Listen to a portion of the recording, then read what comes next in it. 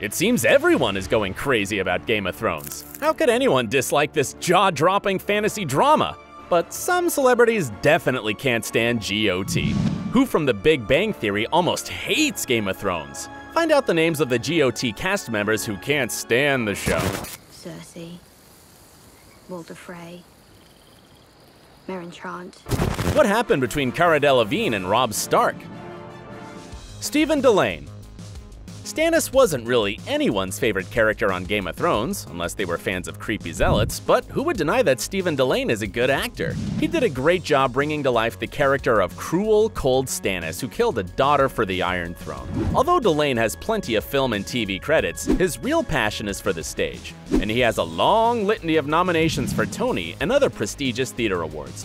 However, Stephen admits that he really didn't enjoy the show very much. Dillane says he was never really able to follow the Game of Thrones plot, even as a fairly central character on it, and so he never had any idea what he was doing until they had finished filming and it was too late for him to act better. By the end of his part on the show, the actor says he was disheartened by the thought that no one would believe in what he was doing. I felt I'd built the castle on non existent foundations, he said. Despite this, Dillane is not suffering from being a part of the most epic show ever.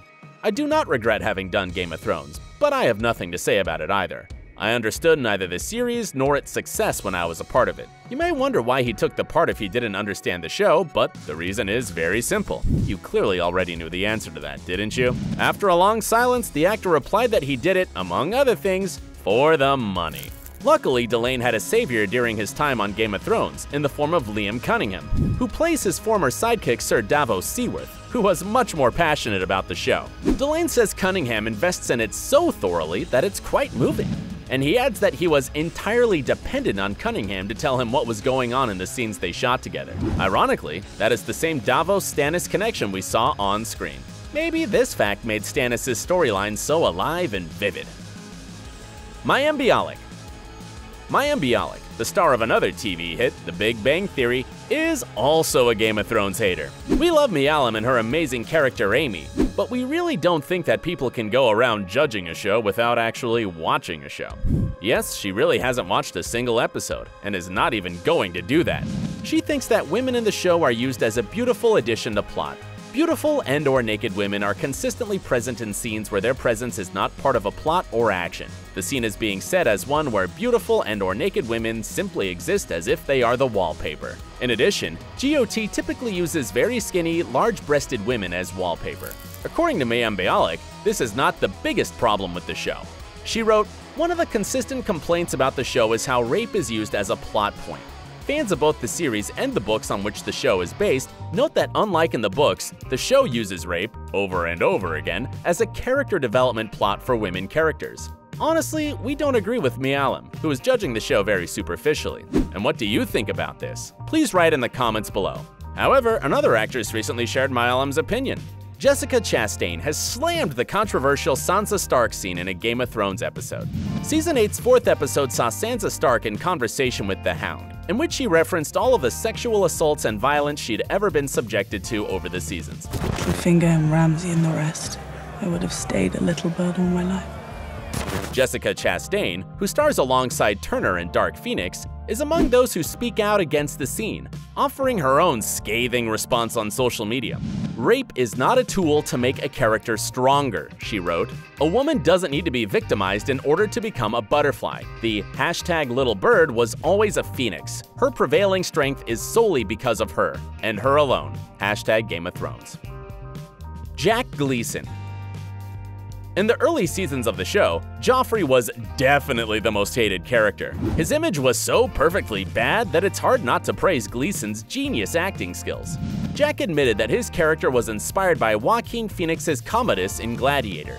Viewers were happy when Joffrey finally choked on his last few breaths. You'll be surprised, but Jack Gleeson was pretty excited about his character's fate as well. Jack Gleeson even decided to quit acting after Joffrey's death. I just stopped enjoying it as much as I used to, he said of his decision. Furthermore, Jack is not a big fan of the show that made him famous. I find it hard to watch, he revealed. Gleeson also added that he finds the misogyny and treatment of women on the show troubling. He said, Yeah, of course. It's a tricky thing when you are representing misogyny in that way, because I wouldn't say the show ever implicitly condones misogyny or any kind of violence towards women. However, the actor still thinks it isn't quite right to portray misogyny on screen, even if it is portrayed in a negative light. Jonathan Pryce, Yet another Game of Thrones alum, Jonathan Pryce, has revealed he isn't a fan of the series. The character behind High Sparrow had been previously asked to star in the show. I've been approached when it was just starting up. It was the kind of thing I wouldn't watch. Dungeons and Dragons and fantasy stuff never really appealed to me, Pryce tells Newsweek. But he was finally lured into the mythical world when presented with the High Sparrow role years later. I'm still glad I said no the first time around. I waited for High Sparrow. However, Jonathan Pryce revealed that he was, in fact, shocked to find out that his character was hated by the fans. I hadn't for one minute thought he was the bad guy. I saw him as the savior of that society. He was the ultimate socialist. He works for the poor, he washed people's feet, he didn't go so far as healing the sick, but he was a socialist. Charles Dance Yes, there is another Game of Thrones actor that didn't understand the show. Discussing Game of Thrones' extensive fandom, Dance, who portrayed Tywin Lannister, admitted he finds it difficult to understand. He added, Some of these people have plunged themselves fully into it, with bags full of ephemera and photographs and documentation, and you think, my god, is that the way you spend your life? Dance explained that, funnily enough, he's not drawn to it. He's never been drawn to science fiction. However, Dance admitted that the show has amazing writing. When he was asked about the phenomenon of GOT's success, Charles answered, It starts with the writing, which is really, really good. And the production values are phenomenal. HBO and Sky have spent money on it, and you get what you pay for. Cara Delevingne Maybe Cara Delevingne didn't hate Game of Thrones, but she definitely isn't a huge fan of the show. After Richard Madden, who starred as Robb Stark, criticized Cara Delevingne for the unprofessional interview that she gave on her film Paper Towns, the model hit back via Twitter. I have no idea who you are, but I think it's a little desperate for a grown man to be bad-mouthing someone they don't know. If you really want attention that badly, try focusing on your own work and not other people's. So we're pretty sure that Cara doesn't watch the show and probably won't subscribe to HBO. Ian McShane Ian McShane makes a brief appearance in season 6 of Game of Thrones, but he was as happy as Ed Sheeran was during filming of the season 7. McShane not only confessed that he doesn't like Game of Thrones, but also spoiled the show for fans. He made headlines before the sixth season when he revealed that he would be helping bring back a much loved character who everybody thinks is dead in the show, which turned out to be none other than the Hound.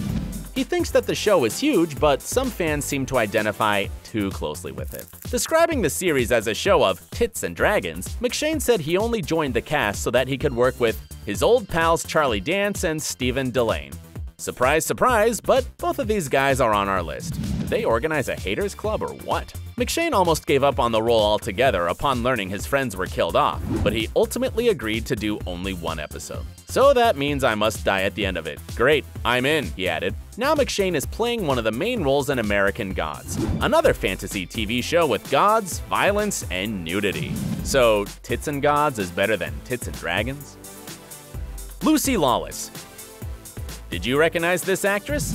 Okay, how about now? Lucy Lawless isn't a huge GOT advocate, despite playing Xena the warrior princess for six years. Even more concerning, Lawless added that she tried, but there were dragons in it. She just can't get excited about things like furries and dragons. It puts her off. But rumor has it, Lucy tried to become a part of Game of Thrones and didn't pass the audition. Or she, like Ian McShane, prefers gods to dragons? Come on, Lucy, what did they do to you? Look how cute dragons are. What do you think about the final season? Write to us in the comments below. Thanks for watching, check out these other great stories from OSSA, and subscribe for new videos about your favorite stars.